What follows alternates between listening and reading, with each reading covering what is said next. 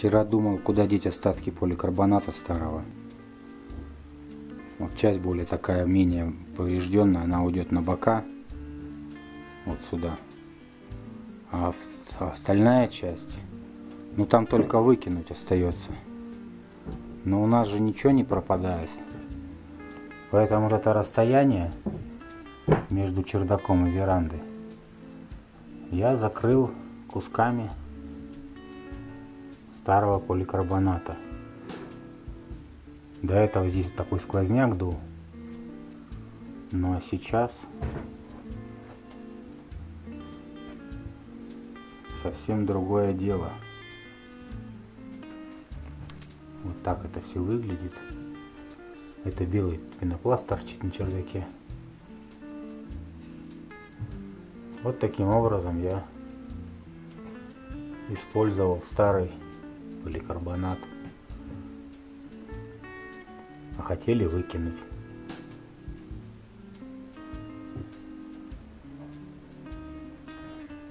Тепла это не даст, но сквозняка не будет. То через такую, конечно, дыру Единственное, конечно, летом еще будет жарче, но для этого у нас есть на веранде с обоих сторон вот одно окно открывающееся.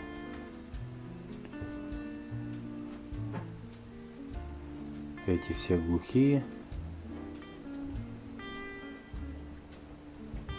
И второе. Поэтому жарко не должно быть. А это вид чердачного помещения. Закрепила также на саморезы, которых у меня осталось много. И вот так вот вот прикрутил кусками.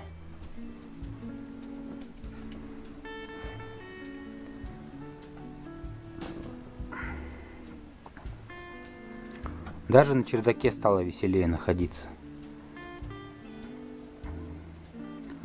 Вот таким образом старый ненужный поликарбонат я использовал вот в этом направлении.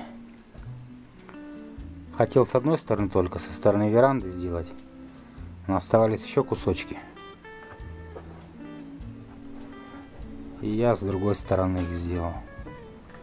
Здесь они более корявые, потому что совсем худые но тем не менее. А уж стал эту сторону доделывать, не хватило зеленого. Отрезал кусок синего от нового листка поликарбоната. Ну, в общем, вот такая ситуация, вот так получилось все. Строим из того, что есть. Это, конечно, не принципиально, строить из хлама, но если есть что использовать, то используем. Есть деньги, покупаем. Всем пока.